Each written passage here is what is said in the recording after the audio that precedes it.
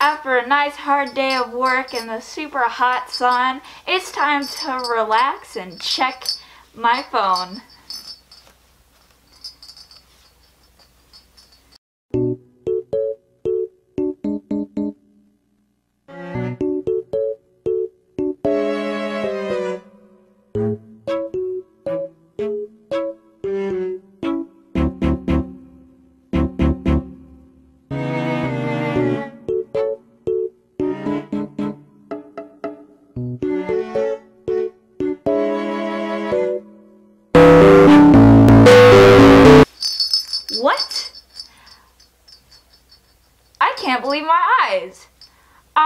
Saw a furry advertisement.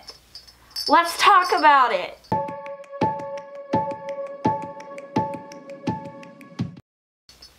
Hey guys, it's your boy Asher here coming at you with a not so fun video.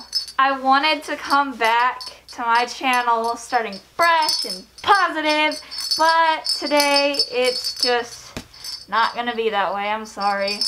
Warning, if you do not like furry drama or drama at all, then please click away from this video because this talks about furry drama.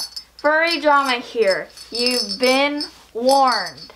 For once, there is furry drama outside of the furry fandom through the form of a controversial advertisement by the company Vitamin Water. You know, those little uh, drinks that are supposed to be good for you and that are also like flavorful or something. Yeah, yeah, that. You know, this right here, yeah, that's what I'm talking about. So I'm going to break down what happened, the pros and cons of this advertisement, where they went wrong, how they can fix it, and then my personal thoughts and feelings about this ad. Now here is the controversial ad in question. Play the clip.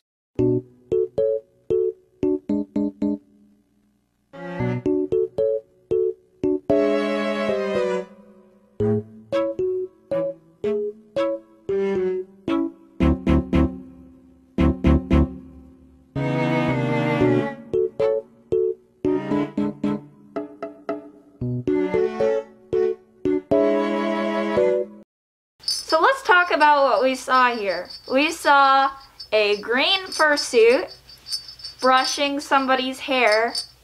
Some words go by, and then he's just smiling in the mirror. I will go over the pros and cons of what this video does for the furry fandom. Pro number one, a big company tried to appeal to the furry fandom. This is a good thing because we know that big companies and advertisers are trying to represent us a little more in mainstream media. Which brings me to con number two.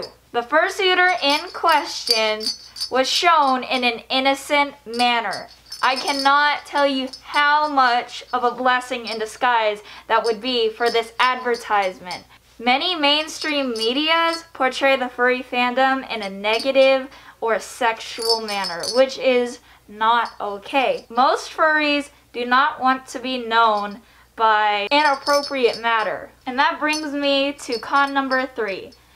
Nothing was specifically said about the furry fandom in a bad manner.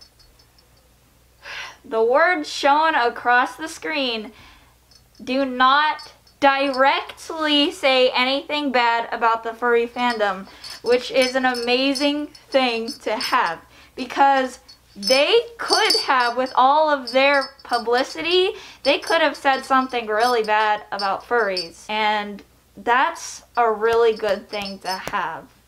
But all good things must come to an end.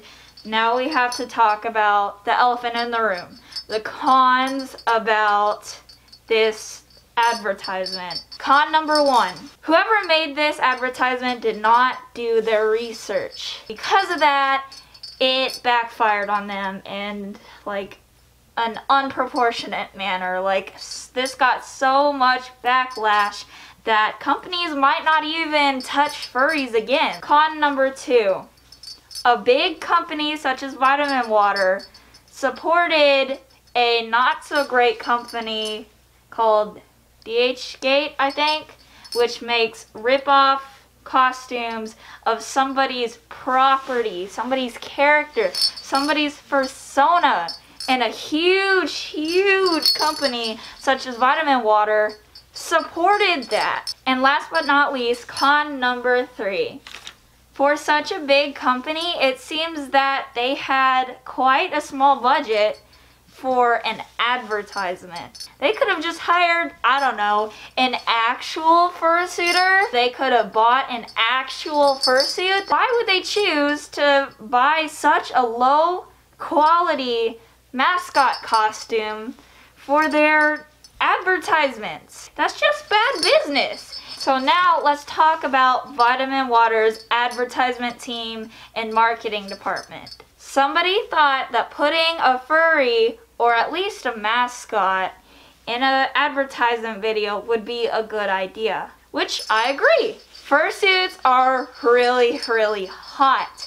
And hydration is one of the most important things to a furry or fursuiter. So why not quench that thirst with a little bit of vitamin water? Their intentions were in the right place. They just made a couple mistakes on the way. Whole thing could have been resolved if somebody just did their homework and just did a little research about furries and fursuits and all that kind of junk. So with that being said, what can vitamin water do to make it up to the furries?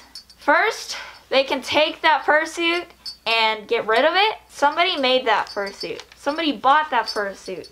Somebody owns that character. It's not right to take it. What needs to happen is that Vitamin Water needs to own up to their mistake and address it. Vitamin Water, we want an apology. We know you didn't mean to hurt us, but you did, and you need to own up to it. You need to be the bigger person or in this case, bigger person, and own up to your mistakes. Also, I'm just gonna show you what some other people have been saying. Like, some people are for this ad, some people are against this ad, some people are really confused, and yeah, so just, just take this time to look at some of those comments, and yeah, keep reading some of those pictures. Pause the video if you need to read it, you know, all that good stuff, and yeah. Are we good? Are we good? Okay, we're good. So, what did I think about that advertisement? Personally, I didn't really like it. I mean, I was just scrolling across Instagram and I saw somebody made a post about it. So I went on to Facebook and I saw the advertisement for myself and I didn't really like it. I mean, I don't really drink vitamin water in the first place, so it doesn't really bother me. But what does bother me is that just furries were represented, but it wasn't represented in the best way possible. And that sucks, and I don't really like it, but you know, it happened, and I care, but it doesn't really affect me, if that makes sense. That's just how I feel about it. Let me guys know what you guys think in the comments below. Did you really like this advertisement and you didn't see anything wrong with it? Did you absolutely hate this advertisement and you're gonna forever boycott vitamin water? Please let me know in the comments below. I really want to know what you guys think. I want to start up a conversation and I want to read what you guys have to say about this. Thank you guys so much for watching this video. Please leave a like, comment below what you'd like to see next, and click that red subscribe button for more quality content from yours truly. See you guys next time. Bye. Bye.